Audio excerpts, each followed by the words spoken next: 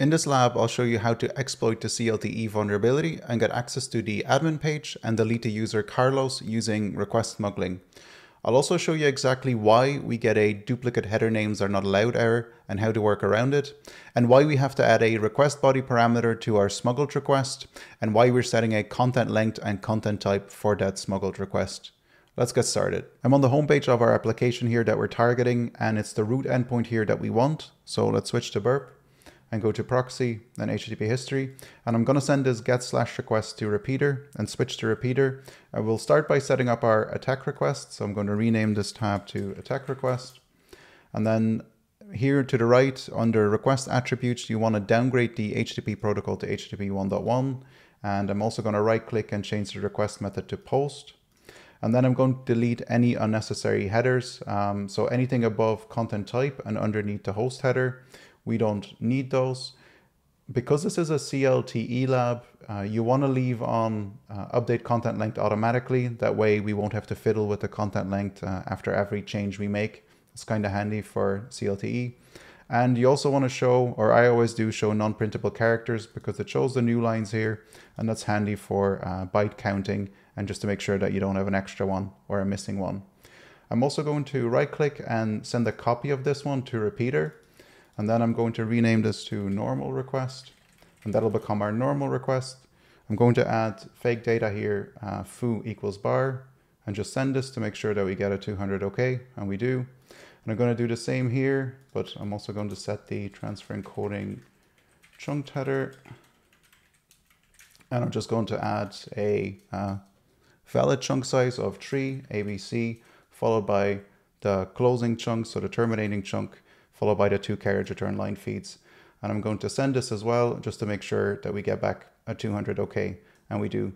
So now we're ready to start our request smuggling. And I'm going to start by requesting a resource that doesn't exist. So it's just some gibberish here, followed by the HTTP protocol. So we want HTTP 1.1, followed by the carriage return line feed. Let's send this and then go to our normal request and send that as well. And we get back invalid request.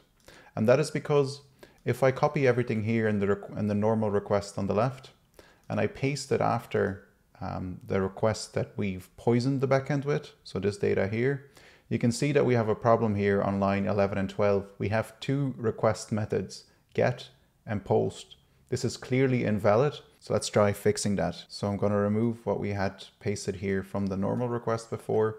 And we're going to take a different approach where I'm going to add a request header with a name of Yarno for a value of X and not followed by a carriage return line feed. And what that will do is when our normal request is appended to it, which starts with a post, it will be appended like this. And that kind of fixes the double request method issue that we had before. So I remove the post here and let's just send this request.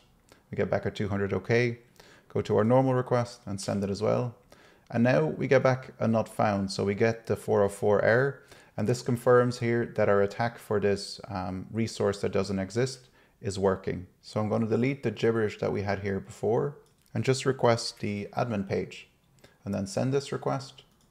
We get back a 200 OK and then send our normal request and we get back 401 unauthorized. And if I render the page, you can see more clearly the admin interface is only available to local users. So let's try and trick the backend into thinking that we are a local users because we don't have credentials for this admin page, but through a trick like using x forwarded for or the one that we're going to apply here in our attack request by supplying a host header for a value of a local host, we might be able to trick the backend into thinking that this is a local request. So let me send this and we get back a 200 OK. And then I'm going to send the normal request. And now we get a 400 bad request. Duplicate header names are not allowed. And this is because if I go to the left here and copy our entire normal request again and go to our attack request, and I paste it after the header Yarno for a value of X here, you can clearly see that on line 12 and 14 here, we have two host headers. So we have duplicate request headers. That's why we're seeing that error.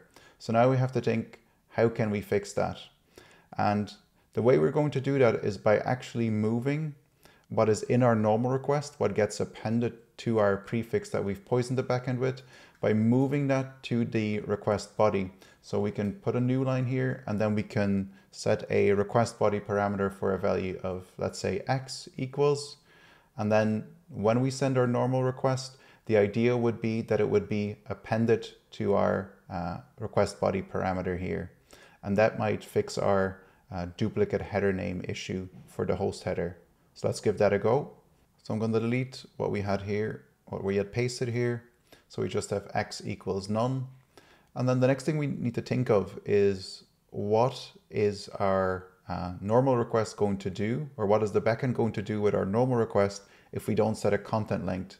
Well, that would mean that our content length would equal zero, and the backend server will just ignore the x equals that we've set here. So we do have to supply a content length that has to be big enough so that at least one byte of the normal request that we send is appended to our smuggled request body here. So I'm going to copy these uh, line 3 and 4 here, the content length and the content type. And I'm going to, we don't really need the uh, header Yarno here anymore because we have a different way of solving this now by moving everything to the request body. So let's delete this and I'm just going to paste the content type and content length. Now the question is, what is the minimum content length that we should set? And the answer is, so we have x equals here, which is two bytes.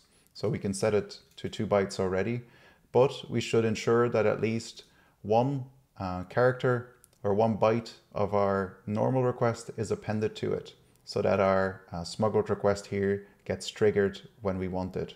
So I'm going to change the content length here to three and that should be enough for the minimum. And then send this request. And we get back at 200 OK. Then I'm going to go to the normal request and send it as well. We get back at 200 OK. If we go to render, we can see that we now have the option to delete users. Let's go to pretty again. And underneath here, we need the link for Carlos. So I'm going to copy this and go back to our attack request. And now instead of slash admin, we need what we copied before, and let's send this request. And we get back at 200 OK, took a few seconds. And now let's send our normal request. And we get back at 302 found, which indicates that our delete uh, worked. So let's go to the lab and we can see congratulations, you've solved the lab. I hope this was helpful to you and thank you for watching.